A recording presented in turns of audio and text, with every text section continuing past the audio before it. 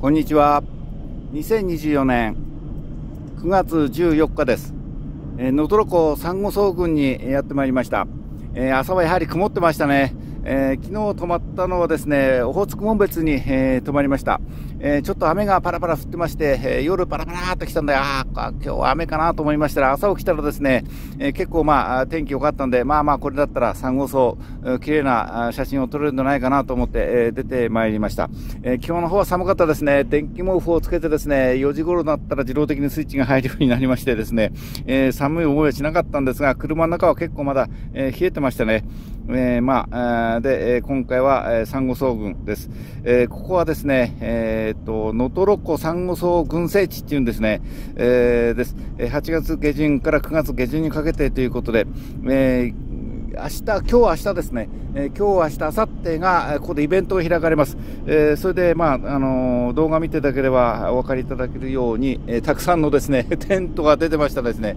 えー、駐車場も別に用意されてまして、一方通行でした。ちょっと帰り間違ってですね、えー、一方通行逆走してしまってですね、すぐあのバックして U ターンして戻ってまいりましたが、えー、一方通行で入ってまいります。えー、普段のこのサンゴ礁のとの駐車場はすべてイベント会場ということで、えー、出店、えー、などが用意用意されてます。それからたくさんのですね、椅子が用意されてまして、そこでバーベキューでもやってください、食べてくださいというふうな準備が、えされておりました。え行った時はですね、皆さん準備の最中でしたね。えー、本当は明日から明後日、えー、明日明後日がメインなんですが、今日からもう結構観光の方が来てました。え駐車場の方は裏の方に写真撮ってきましたけども、結構広い駐車場が用意されてます。僕、あの、草地なんですけども、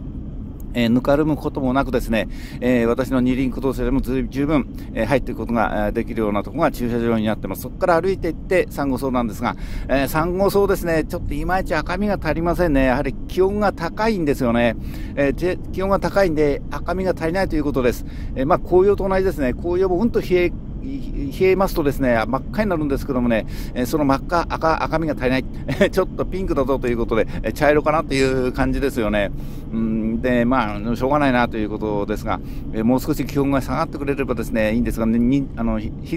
え、温度差ですね、え、温度の高低差が極端にあるとですね、すごくいい発色が出るみたいですが、えー、まあ今年の冬、夏ですか、今年の夏は暑かったんでですね、えー、サンゴ礁の方もいまいち赤みが足りなかったなということですが、まあ皆さん、あの、たくさんの方が来てですね、えー、これから見ていくんじゃないかなと言いますが、それこそ、それよりもですね、イベント会場の方張り切ってますよね。本当にもう、え、まあ、汽車まで、ね、子供が乗るぐるぐる回る汽車ですね、列車、えー、SL、え、それまで用意されてますよね。えー、まあ、いかにして、まあ、観光地でお金を落としてくれっていうの言わんばかりですよね。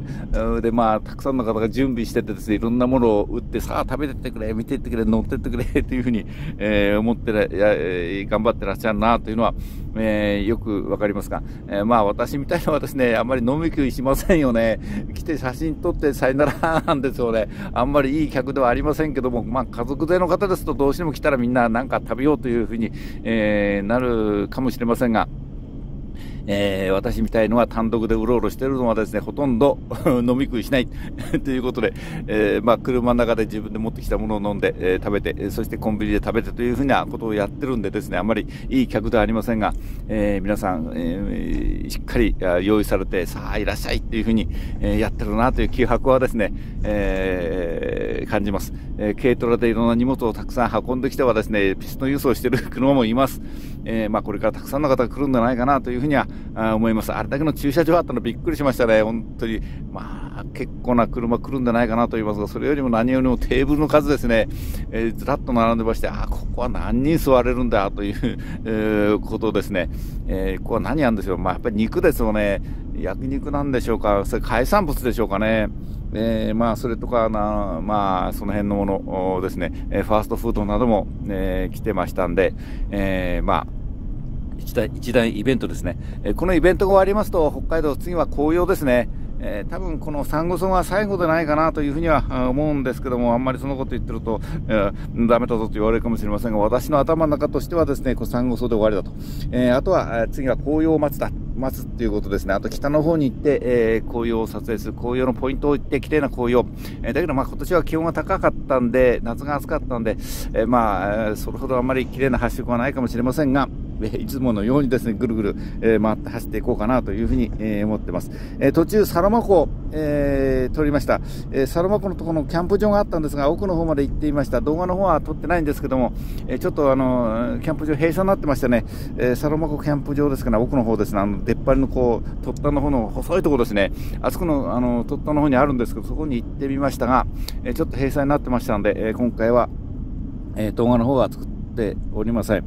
えー、サンゴ岬っていうんですかね、そうですね。えー、それからアイランド湧別、そしてサロマ湖というふうに、えー、経由して、えー、ノットロックをぐるっと回って、えー、それから網走道の駅には行きません。えー、め、えー、女満別ですね。えー、女満別の方に、えー、ルート104号線ですかね。えー、こちらの方の裏道を通って、女満別のキャンプ場ですね。えー、そっちの方を、えー、撮影して、それから、あい、えー、愛の内でなくて、愛の里ではなくて、えー、と、どこだっけな、あ相生ですかね、えー、相生の方に行ってみようかなというふうに思います。相生の道の駅はですね、240号線なんですが、あんまり通らない道なんですよね。津別から、あの、まあ、あのー、阿寒の方に抜ける道なんですけども、私あんまり通らないんですよ。で、まあ、今年ちょっと初めて、えー、まあ、しばらくビデオですね、えー、行ってみようかなと思って、あ普通はですね、道の駅、あこの道の駅って言われたらですね、大体思思い出すんですよ。あ、トイレはどうだったな、全体的にはどうだったなっていうのを思い出すこの相生だけはどうして思い出せなかったんですよね。えー、で、来たら、いや、ひょっとしたら初めて来たかなというような感じですよね。以前来たことあるんですけど、まあ、確か来たことあるんですけど、あまり記憶には残ってなかったですよね。今回は記憶に留めようということで、えー、しっかり相生の道の駅を見てまいりました。えー、よく観察するということが第6回磨くということです。第6回磨くためには観察すること。えー、です。だいたい、あの、どこの、どこの道の駅、どこだっていうふうに言うと、私、だいたいその条件を思い出すんですよね。その条件を思い出してですね、さらに思うとですね、あ、その時何食べた、どういうふうにやった、だ、どんな話をした、風景はどうなったかと、だんだん思い出していくんですよね。ですが、この相生だけはですね、いや、なん、どんなとこだったかなと、写真をちょっと見るんですけど、あ、ダメだ、わかんないっていうところですが、今回はしっかり、